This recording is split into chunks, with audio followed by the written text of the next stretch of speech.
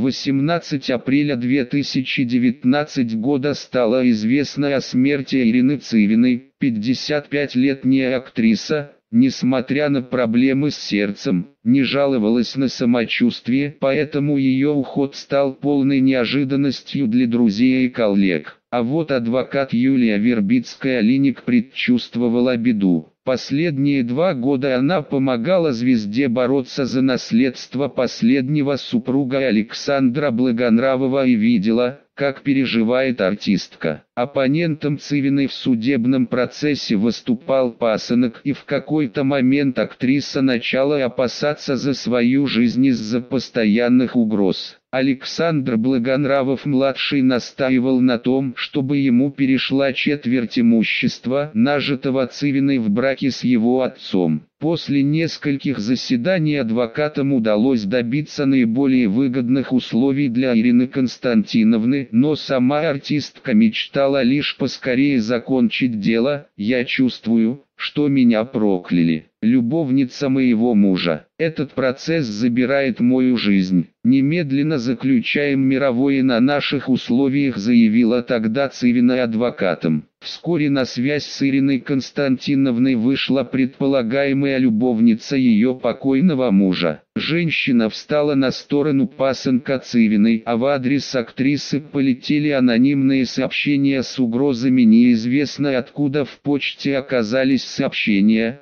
ты хочешь и дачу, и машины, и баню, сдохнешь со всем этим, не пойдет проклятое наследство тебе впрок. С тех пор меланхолия стала почти постоянной гостьей Ирины Константиновны. Кроме того, тема проклятия и проклятого наследства глубоко засела у нее в голове, рассказала адвокат. Единственной радостью для актрисы был сын Евгений, который всегда поддерживал маму фото. Инстаграм актриса все чаще жаловалась на плохое самочувствие, стала реже выходить в свет и общаться с друзьями. В тот период, по словам юриста, Цивина обратилась к религии, и хотела уйти в монастырь. Еще одним утешением для Ирины Константиновны стали отношения с Денисом Сердюковым. Избранник был рядом с Цивиной в самые сложные минуты и даже сделал ей предложение руки и сердца ответа она дать не успела. По роковому совпадению буквально через неделю после того, как были закончены последние судебные формальности, Ирина Константиновна умерла поделилась воспоминаниями Юлия Денис Сердюков